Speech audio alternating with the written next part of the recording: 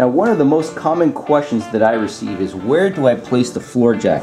And Honda makes it quite easy. As you can see, there's an arrow pointing to the metal frame. This is an excellent spot because it's dead center.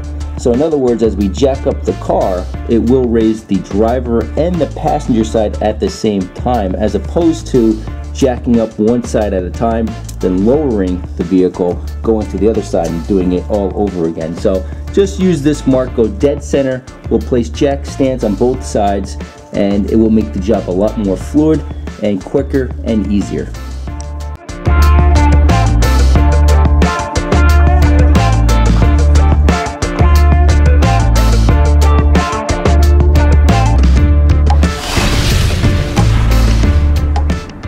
Today we have the Honda back in the shop. Specifically, we're replacing the automatic transmission fluid. Now this will just be a fluid change, not a flush. If you want to do a flush, then you'll do these steps three times. And I'll explain a little bit more as we get into the, uh, into the job. But in this case, we're just changing the fluid and that's it. Now for this vehicle, it's required every 120,000 miles or 72 months, which is six years. If you're not sure, just look at the owner's manual. Everything is in here that you need.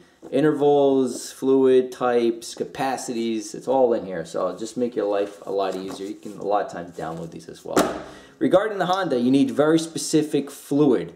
And uh, I'm sure many of you probably already know this, but you need Honda Z1 or DW1 fluid. However, to get that fluid, the Honda specific fluid, uh, most auto parts stores don't carry it. In other words, you have to go to Honda or Acura dealership, pick it up, or order it online.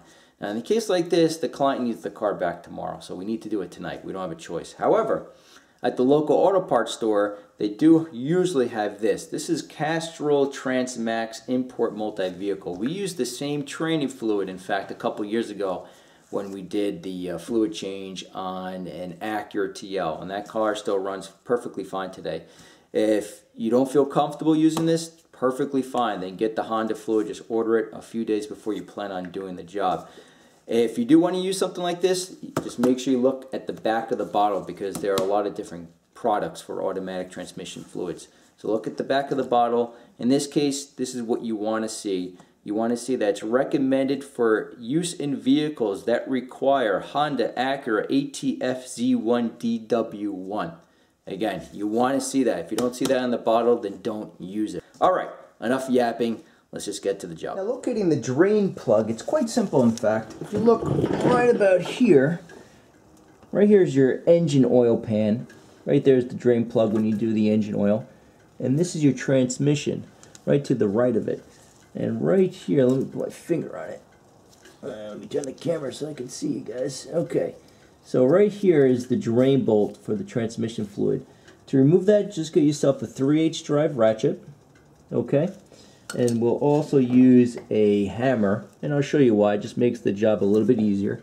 So we'll place the end of the ratchet on the bolt, take off the, the bolt here, let the fluid drain, and we'll go ahead and add new fluid in. So let me show you how we do this. Also, Make sure the car is warmed up. In other words, once the radiator fans kick on, the car is properly warm. This allows more fluid to come out of the vehicle.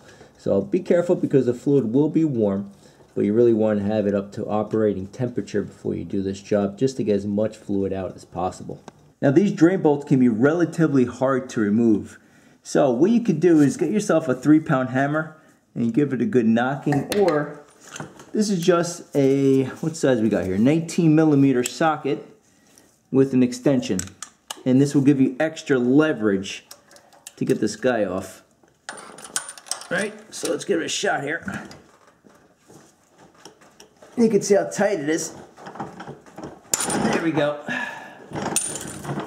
And that's all it takes to it. So you get a hammer or use an extension because it's very, very tight. Then have your trusty drain pan ready to grab the old oil. And here we go.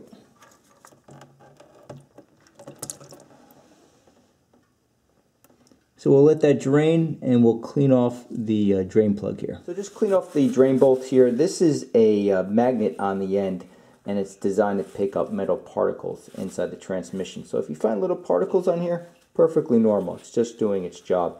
And this is a uh, the washer. Most manufacturers, they always say to replace it, but to be honest, uh, if it's still in good shape like this one is, you can reuse it. And when you reinstall the drain bolt, you can torque it if you have a torque wrench, around 36 foot-pounds. Most of you probably won't have a torque wrench, so just give it a good tug. Uh, as you can see, it was very tight. So give it a good tug when you uh, when you replace or reinstall the drain bolt. Make sure it's nice and tight. And of course, once we wrap this up, just check for leaks. So let's uh, move on to the next step.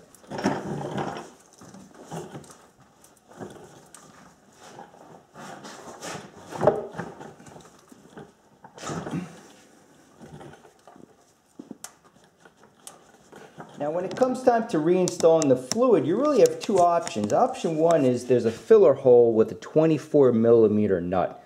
Now when we did the Acura TL transmission fluid replacement, many of you just could not remove that nut because it's pretty far deep down in the engine bay. You need a pretty long, long socket. It's a little bit longer on the TL, but regardless, you need a long socket and you need a 24 millimeter size nut, which many of you don't have as well. So what you can do as a contingency is Right here is the dipstick for the transmission fluid. Here's your battery and here's the dipstick. So just remove the dipstick from the filler tube and what we'll do is we'll insert a funnel into the filler tube. I'm sorry for the lighting, it's pretty hard to get a good lighting in here.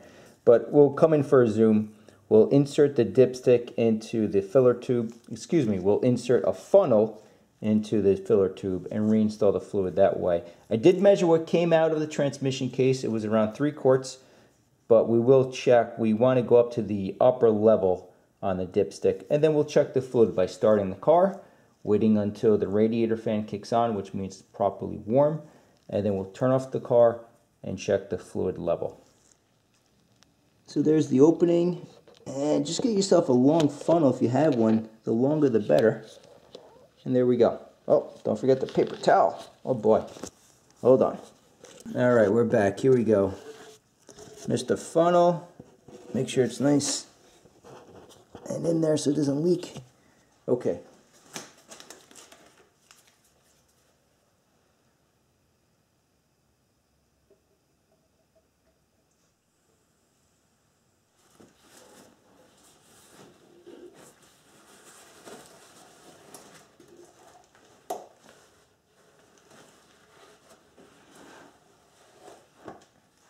Now before we reinstall the dipstick, just take note of the shape. You have a little notch here on the right at the 3 o'clock position here. And if you take a look at the filler hole, right there, you just want to line it up.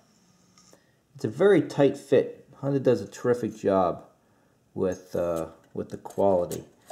So, just go ahead and insert the dipstick here. A little hard with one hand, but here we go. Make sure you mark up that notch. Push it down, okay. Make sure I'm in it. Okay, you see how that just goes in just like so. We'll remove it and let's take a look.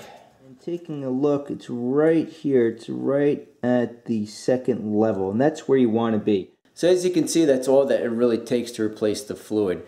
If you do want to flush everything out, after this first step, what you're going to do is go for a drive, come back, drain the fluid, add new fluid, go for a drive, come back, drain the fluid, and add. You need around 9 quarts if you want to flush everything out. And lastly, regarding uh, filters, there are two filters on this car. Excuse me. There's an internal filter that you don't change unless you're doing an overhaul, and an external filter. Now, the external looks like a fuel filter. Now you can change the external filter also if you wish. The repair manual does not specifically say to replace it. However, if you want to replace it, go for it. Uh, just YouTube, YouTube it. It's getting late guys. Just YouTube it and uh, there are plenty of videos showing on how to replace it. It's maybe around $25, a genuine Honda part.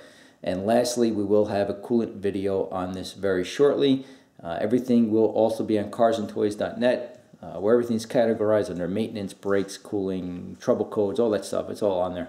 And uh, that's really about it. So thank you for watching. We'll see you shortly. And uh, I'm going to bed.